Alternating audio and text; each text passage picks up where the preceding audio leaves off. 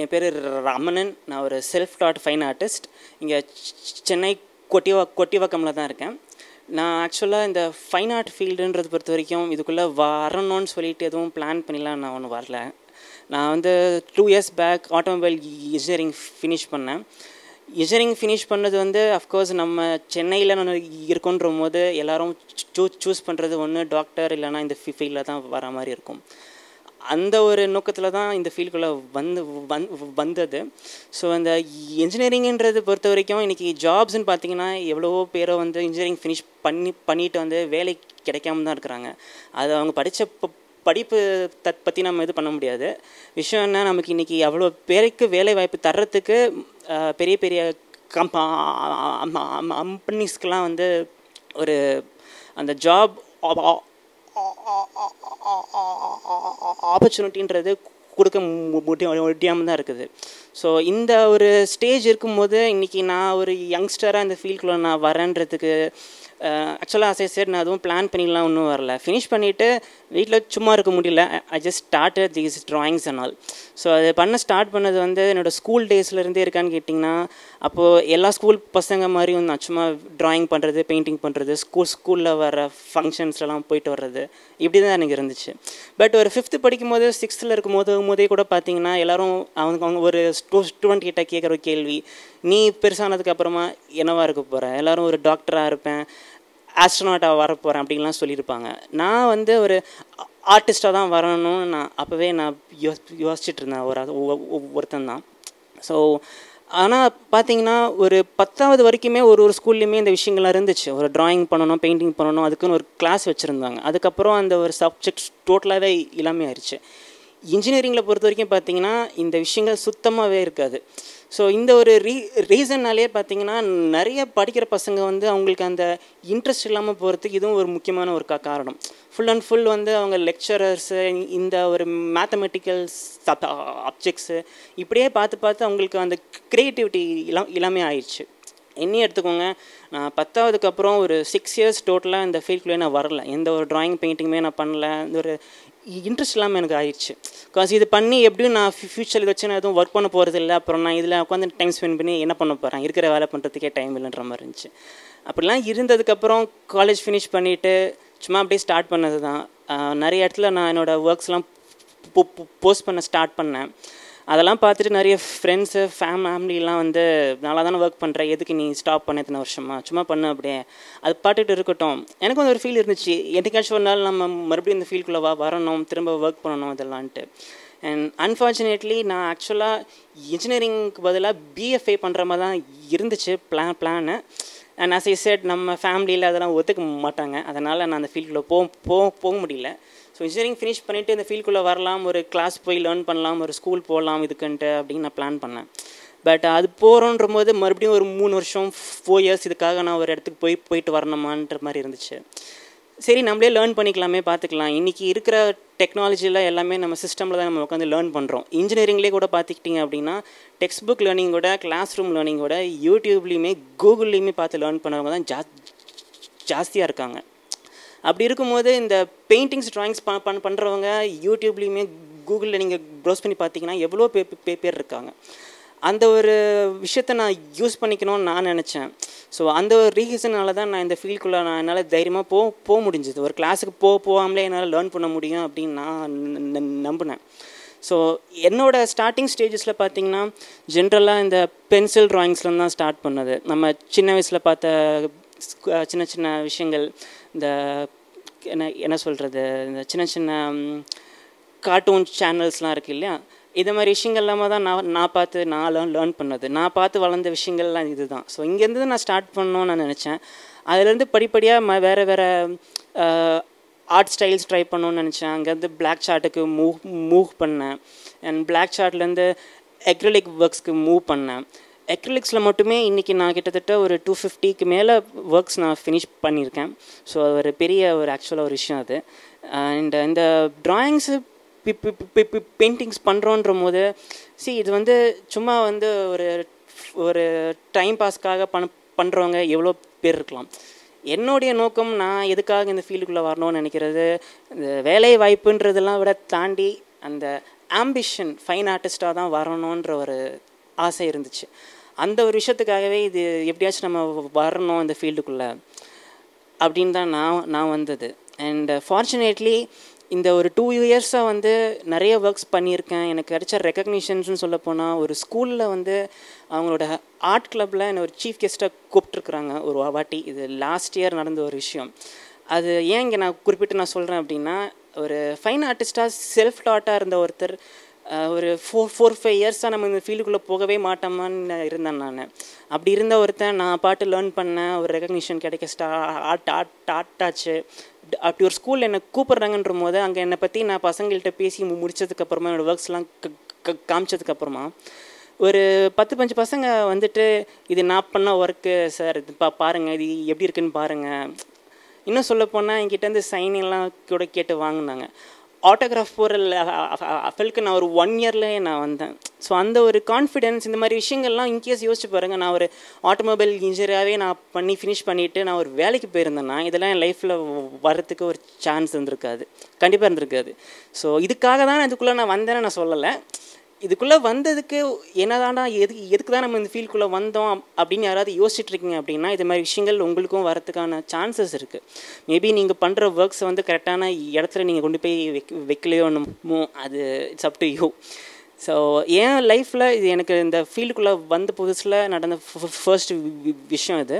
And so far uh, நான் வந்து uh, எக்ரலிக்ஸில் ஒர்க் பண்ணுறேன் பிளாக் சார்ட்டில் ஒர்க் பண்ணுறேன் பென்சில் ட்ராயிங்ஸ் பண்ணுறேன் வாட்டர் கலர்ஸ் பண்ணுறேன் அண்ட் இன்ஜினியரிங் ஃபினிஷ் பண்ணதுக்கப்புறமா even went into diploma in photography அது ஒரு சிக்ஸ் மந்த்ஸ் நான் பண்ணேன்.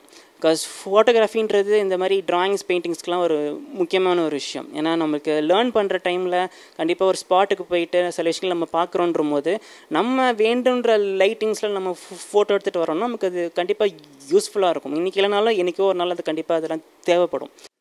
ஸோ இந்த மாதிரி விஷயங்கள் இவ்வளோ பண்ணுறேன் நானுன்ற போது இதெல்லாம் வந்து எக் எவ்வளோ பேர் வந்து என்னென்னமோ விஷயங்கள்லாம் வந்து இன்றைக்கி பண்ணிகிட்ருக்குறாங்க ஸ்போர்ட்ஸில் இருக்கட்டும் இல்லை வேறு ஏதாவது ஃபீல்டு கூட இருக்கட்டுமே. இப்போது இவ்வளவும் பண்ணுறதுக்கு ரீசன் என்ன? எதுக்காக ஒருத்தன் வந்து இது இத்தனை விஷயங்கள்லாம் பண்ணணும்னு கேட்டிங்கன்னா இன்றைக்கி நம்ம வந்து ஜாப் போகிறோம் இல்லை ஒரு பிஸ்னஸ் பண்ணுறோம்னு பார்த்தீங்கன்னா நம்முடைய உலகம் சுற்றி இதை இது இது சுற்றி மட்டும்தான் நமக்கு இருக்குது இப்போது ஸோ இது போக உங்களுக்குன்னு சில விஷயங்கள் நீங்கள் பண்ணணும்னு நான் நினைக்கிறேன். இது நான் வந்து எந்த ஸ்கூலுக்கு போயிட்டு வந்தாலும் சரி இல்லை யார்கிட்ட சொன்னாலுமே சரி உங்களுக்குன்னு லைஃப்பில் பண்ணுறதுக்கு ஏதாச்சும் ஒரு சில விஷயங்கள் இருக்கணும். அதை வச்சு நீங்கள் க க- காசு பார்க்கணுன்னு கிடையாது ஒரு ஷோ பண்ணணுன்னு கிடையாது.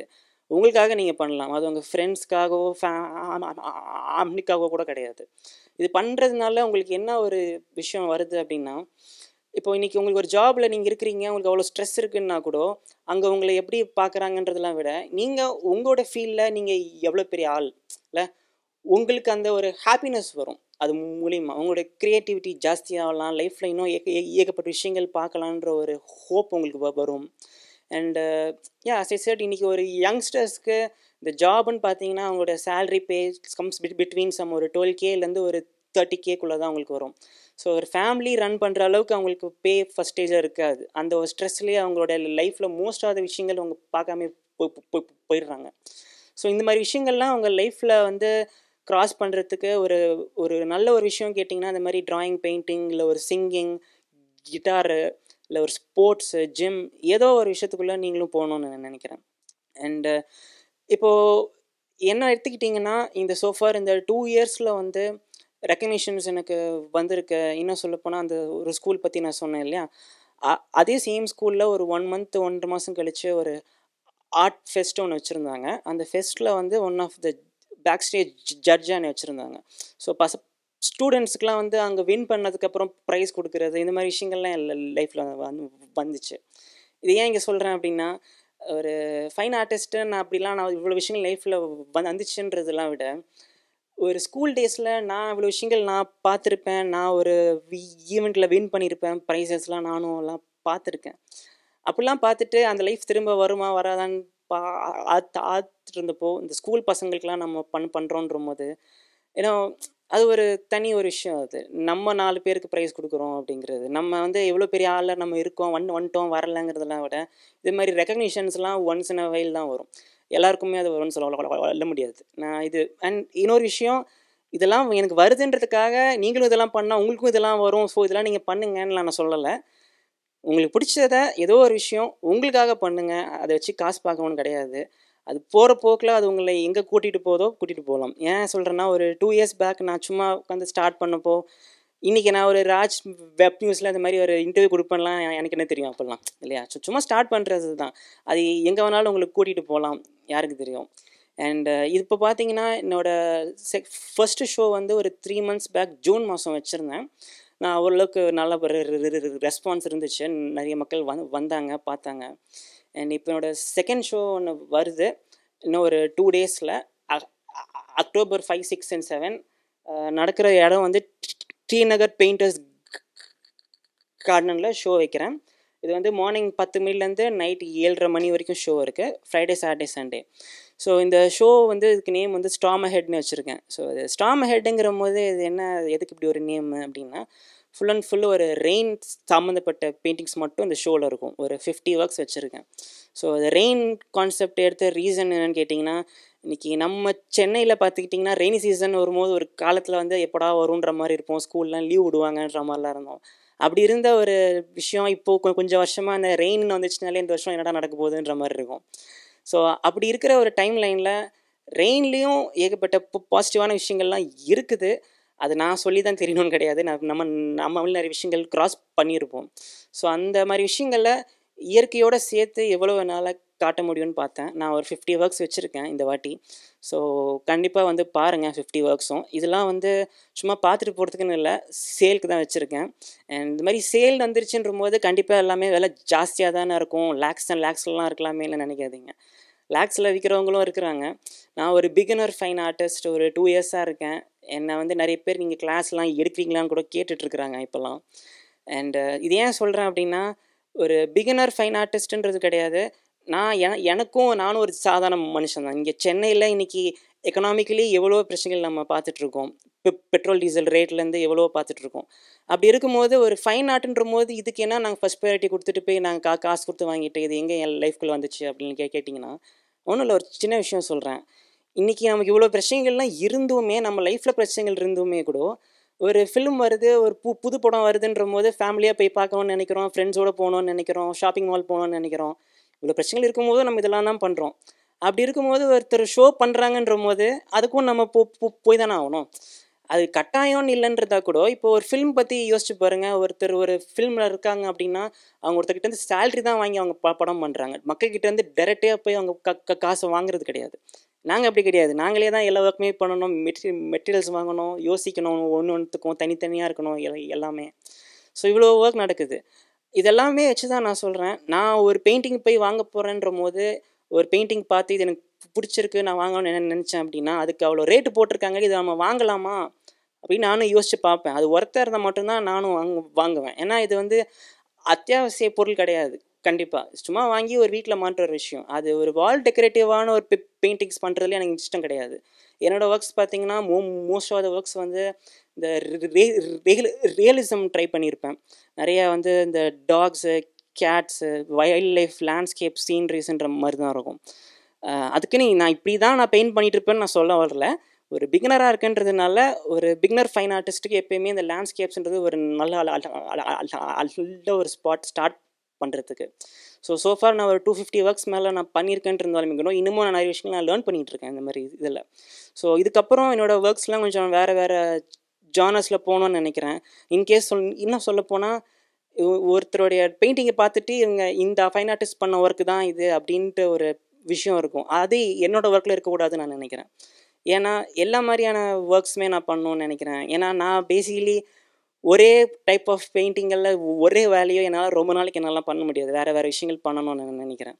ஸோ அந்த ஒரு இதுக்காக சொல்கிறேன் இந்த ஷோவில் பொறுத்த வரைக்கும் இந்த ஃபிஃப்டி ஒர்க் ஒர்க்ஸ்க்கு அப்புறம் இதுக்கப்புறம் என்னோடய ஒர்க்ஸ் ஒர்க்கிங் ஸ்டைல் வேறு வேறு மாதிரி அது மாதிரி வரும்.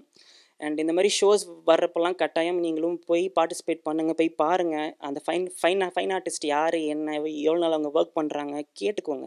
ஏன்னா இந்த ஃபீல்டுக்குள்ளே வர்றதுக்கு வந்து ஒரு கான்ஃபிடென்ஸ் வேணும். நீங்கள் வர்றீங்க நீங்கள் ஒர்க் பண்ணுறீங்க அப்படின்ட்டு. முதல்ல அவங்களுடைய ஃப்ரெண்ட்ஸு யோசிப்பாங்க நீ எதுக்கு இதுக்குள்ளெலாம் போகிற அதுக்கு ஸ்கோப் இருக்கான்லாம் கேட்டுட்ருப்பாங்க. அவங்களுடைய வீட்டில் இருக்கவங்களையும் முதல்ல உங்களை போக விட மாட்டாங்க. அந்த ஒரு பிரேக்கிங் பாயிண்ட் வரணும் அது எப்போ வரணும் வரும்னு நினச்சிங்கன்னா நீங்கள் பண்ணுற ஒர்க்கு நல்லா இருக்குது உண்மையிலேயே நல்லா பர்ஃபெக்டாக நீங்கள் ஒர்க் பண்ணுறீங்கன்னா கண்டிப்பாக உங்களுக்கு சப்போர்ட் வரும். எங்கே இருந்தாச்சும் அது வரும். அண்ட் இந்த வாட்டி ஷோவில் வந்து எதுவும் காஸ்ட்லியாலாம் எதுவும் கோட் பண்ணல. எல்லோரும் வாங்குற லெவலில் தான் நான் ப்ரைஸிங் வச்சுருக்கேன். ஸோ